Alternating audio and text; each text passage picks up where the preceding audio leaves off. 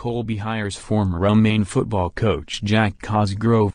Waterville, Maine, AP. Colby College has hired former University of Maine football coach Jack Cosgrove, the winningest football coach in Black Bear history.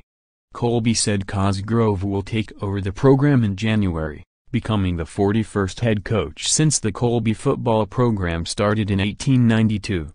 Cosgrove stepped aside from the Black Bears in November 2015 and has been serving as Senior Associate Director of Athletics at UMaine. Cosgrove's tenure in Orono included 129 career wins, three conference titles and five postseason appearances. He said he's ready to get back to coaching on the gridiron and added, to say I'm excited would be an understatement,